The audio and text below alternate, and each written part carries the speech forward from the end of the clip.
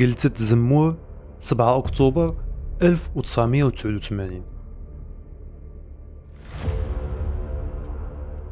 بعد ما دازت الشهور الأولى من عام 1989 في هدنة أعلنتها البوليزاريو من جانب واحد وبعد تحركات دبلوماسية مكثفة وتوقعات عالية بإمكانية الوصول أخيرا إلى حل خصوصا مع استقبال الملك الحسن الثاني في يناير الوفد من البوليزاريو في مراكش وتفاوضوا معهم وجها لوجه لأول مرة على الإطلاق مع إعلان اتحاد المغرب العربي في 17 فبراير من نفس العام بين الدول المغاربية الخمسة الحرب تعود من جديد. قوات البوليزاريو الجاية من تندوف بقيادة الحبيب أيوب هاجمت قوات الجيش المغربي على مقربة من الجدار الرملي. وفين؟ بقلتة زمور المنطقة اللي سجلت فيها القوات المغربية 8 سنين قبل في أكتوبر عام 1981 أحد أكبر خسائرها على الإطلاق في حرب الصحراء. لكن هاد المرة كان وقت طائر. الأمور تبدلت والجدار الرملي اكتمل بناؤه. وحرب العصابات اللي كانت كتباغت بها البوليزاريو والثكنات المغربية العسكرية ما بقاتش واكلة. رادارات الجدار والأسلحة الأسلاك الشائكة اللي فيه والألغام ونقاط المراقبة زولت عنصر المفاجأة اللي كانت نقطة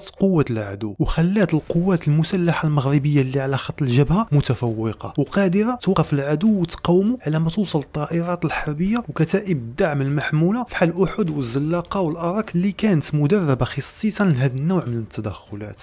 في نهاية اليوم الجيش المغربي رغم الخسائر في صفوفه صد الهجوم وقدر يطرد أعداؤه شرق الجدار مرة أخرى. خسائرهم قدرتها وكالة المغرب العربي للأنباء ب 80 قتيل وجريح وخسائرنا ب 14 قتيل و 31 جريح. واش العدد صحيح؟ غالبا لا. لكن اللي متأكدين منه هو أن معركة جلسة زمور الرابعة كانت واحدة من سلسلة معارك متتالية كاملة ربحها وغادي يربحها المغرب. حيث رغم أنه بعدها غادي تهاجم قوات البوليزاريو الحوزة في 11 أكتوبر اكتوبر وامغاله في 8 نوفمبر النتيجة غادي تبقى هي هي. خسائر في الأرواح من الجانبين حيث رغم كل شيء الجنود المغاربة اللي في الجدار الرملي كان عليهم أنهم يقاوموا في انتظار وصول الدعم وفوز المغربي. ورجوع البوليزاريو من حيث آتوا.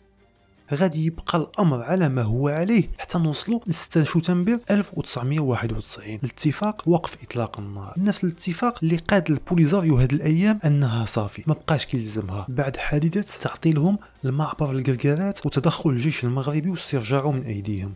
هنا غادي تقول لي شنو كانت كتعمل أصلا البوليزاريو في الكركارات ياك المفروض كيف كيقولوا في التلفازة أنهم يكونوا في تندوف حيت الصحراء حنا استرجعناها كاملة شحال هادي. فاذا كيفاش قطعوا هاد الطريق كاملة وعبروا الحدود وبالسلاح بلا ما نشوفوهم؟ أنا نشرح لك. راه هي الحكاية معقدة شوية. وباش نفهموها ونفهموا شنو اللي وصلنا لهنا خلينا نكملوها من فين خليناها في حلقة المسيرة الخضراء. تعقل من اللي قلت لك أن المتطوعين المغاربة في المسيرة رجعوا في حالهم في 9 نوفمبر بأمر من الملك الحسن الثاني. وأنه بعدها تدار مؤتمر مدريد اللي تخلت فيه إسبانيا على استعمارها واللي قسم الصحراء بين المغرب وموريتانيا. البوليزاريو ما بقاتش كتفرج. في 19 يناير 1976 هاجمت قواتها الجيش الموريتاني في معركة عين بنتيلي وقدرت تفاجئ وتنتصر عليه رغم أن المغاربة قدموا الدعم الجوي للموريتانيين.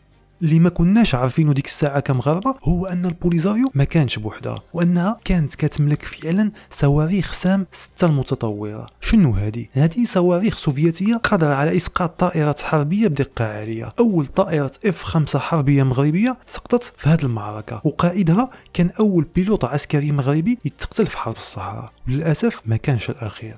حيت أيام موراها في 24 يناير غتبدا بجبهه أخرى معركه أمغال الأولى. لكن هذه المرة مع الجيش الجزائري. اللي كتقول المصادر الجزائرية أنه دخل غا باش يقدم المساعدات للصحراويين النازحين. بينما كتقول المصادر المغربية أنه لا. كان جيش قتالي ودخل باش يتحارب. في كتاب الجيش المغربي عبر التاريخ الكاتب ومؤرخ المملكة عبد الحق المريني نقدروا نقراو أن المعركة كانت انتصار كاسح للمغاربة وأنها خلات الجيش المغربي يستعد السيطرة على تفاريتي وبير الحلو. لكن هذيك كانت غير بداية حرب الصحراء. ومعركة أمغال الثانية اللي هجموا فيها البوليزاريو بدعم جزائري في ليلة 14 فبراير 1976 على القوات المغربية اللي بقات كتحرس المنطقة ما تعطلتش.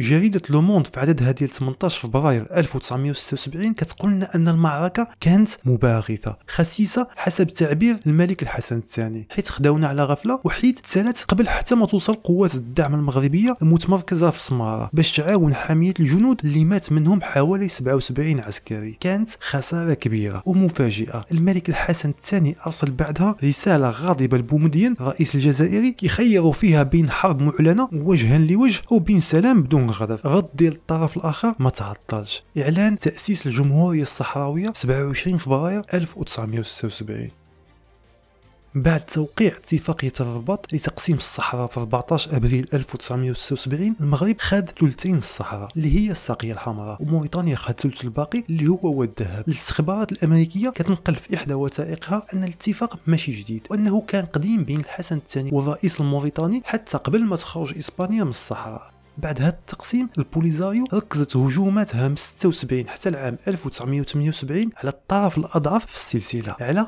موريتانيا اللي كان عندها جيش ضعيف وإمكانيات حربية متواضعة مقارنة باللي كان عند المغرب. هجوم وحيد اللي كان البوليزاريو على مناجم الفوسفات في بوكراع في المنطقة المغربية في 31 ماي 1977 الباقي كان كله على موريتانيا. هاجم البوليزاريو مناجم الحديد الموريتانية في الزويرات بل إنهم هاجموا حتى العاصمة نواكشوط وقصفوا القصر الرئاسي أكثر من مرة. مصطفى الوالي زعيم البوليزاريو غادي يموت في واحدة من هذه المعارك على أبواب نواكشوط في 9 يونيو 1977 لكن رغم ذلك قوات البوليزاريو غتبقى منتشرة في موريتانيا. إلى أن يقوموا بهجومهم الثاني على الزويرات 19 غشت 1977 ويقتلوا تقنيين فرنسيين وياخذوا آخرين معهم أسرى. الشيء اللي غادي يخلي فرنسا تتدخل في الحرب وتنزل جنودها في عملية خروف البحر ابتداء من 17 دجنبر 1977 بهدف إنقاذ الرهائن وطرد البوليزاريو من موريتانيا. لكن اللي ما كانش حتى حد عامل له حساب هو اللي وقع وهو اللي غيقلب مسار الحرب. في 10 يونيوز 1978 غيوقع انقلاب في موريتانيا والعسكر الغادي يطيح بالرئيس ولدته. وقبل ما يعقد اتفاقية سلام مع البوليزاريو في 10 غشت 1979 يتخلى بموجبها على أراضي والذهب ويخرج من الحرب. غتوقع في 28 يناير 1979 معركة طنطان. وهذه بوحدها كانت تحول نوعي وبداية لمرحلة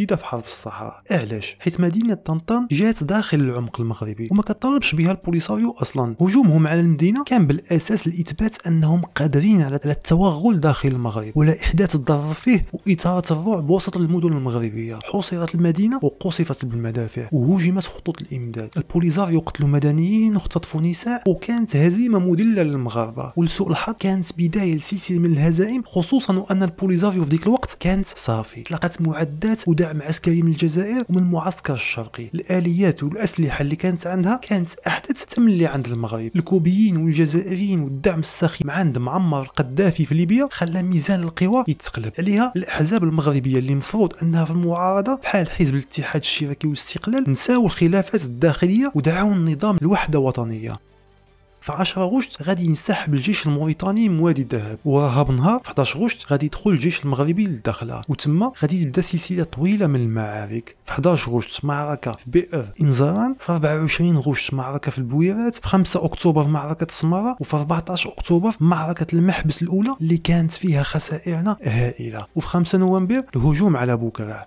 وما يتسالى عام 1979 وإلا والمدينة الزاك محاصرة. غادي تقول لي وشنو فيها إلا حاصروا هذه المدينة؟ ياك الصحراء كاملة كانت ميدان حرب. فالبوليزاريو غتكون حاصرت الزاك شوية ومشات في حالها. لكن لا الزاك كانت أصلا منطقة فحال طنطان. لا تطالب بها البوليزاريو. وجات داخل الحدود المغربية المعترف بها ما عند كل شيء. والحصار عليها ما استمرش غير شوية. استمر منذ جنبر 1979 حتى الماي 1980 ست شهور. فتخيلها أنت. تخيل الحامية العسكرية اللي كانت كانت داخل كيفاش عاشت هذه المدة كاملة بدون أي إمدادات؟ لا طعام ولا سلاح ولا حتى يقين في أنك غدا غادي تكون مازال على قيد الحياة. كل ما تملكه هو سلاحك وطائرات عسكرية مغربية كتجي مرة مرة تلقي عليك مؤن. إذا قدرت أصلا أنها تفلت من نيران المدافع وقدرت أنت تنجو من القنابل اللي كتسقط عليك فحال الشتا هنا غتقول لي علاش ما حاولش الجيش المغربي يفك الحصار قبل؟ هو حاول طبعا رغم أنه كانت معارك أخرى دايرة في نفس الوقت. حيت في 25 يناير من عام عام 1980 كان هجوم البوليزاريو على أقا وعلى الحدود الجزائرية. وفي 13 فبراير كان الهجوم على بوجدور اللي قدر الجيش المغربي يصدو بنجاح الجنرال دليمي اللي كان في ديك الساعة باقي كولونيل وجد أيضا العملية تسمات بعمليه الإيمان. لطرد البوليزاريو من الزاك وتأمين المنطقة. 27 فبراير 1980 بدأت المعارك لكن النتيجة كانت كارثية. ومواجهة هذه القوات مع البوليزاريو اللي كانت مجهزة بالأسلحة الثقيلة وقادرة على إسقاط الطائرات المغربية انتهت بخسارة كبيرة في الأرواح والعتاد الحربي. خساره ما غادي ندركوها إلا حتى الماي 1980 ملي تم فك الحصار على الزاك أخيرا. ونزيدوا عليها في 22 يونيو. نسجلوا انتصار آخر ونربحوا معركة أخرى في قلة الزمور الأمور بدات كتمشي معنا مزيان ياك. لكن لا حيت أنا نشرح لك المشكلة. مساحة الصحراء كبيرة بزاف وباش تأمنها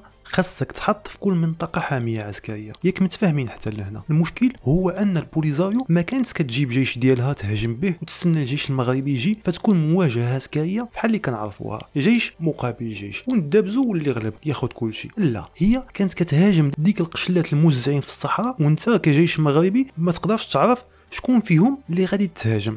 الحاجة الوحيدة اللي تقدر تعاونهم بها هي أنك تصيفط إمدادات عسكرية ورا ما تقوم المعركة. لكن المشكلة هي أن القوات غادي تعطل باش توصل. وحتى إذا وصلت معطله وقررت تتبع البوليزاريو فخاصها تدخل وراهم لتندوف. وإذا دخلت ديك الساعة غادي تجر الجيش الجزائري للحرب. فما يمكنش. الحاجة الوحيدة اللي كانت ممكنة للدعم ديك الساعة هي الطيارات. حيت هما طبعا اللي يقدروا يوصلوا دغيا. لكن عاوتاني المشكلة هنا هي أن البوليزاريو كان عندها صواريخ سام 6 و7 وبعدها حتى 8 فالطائرات المغربية غادي تسقط بنسبة 90% إذا ضربت عليها ثلاث صواريخ فقط. فهمتي دابا المشكلة؟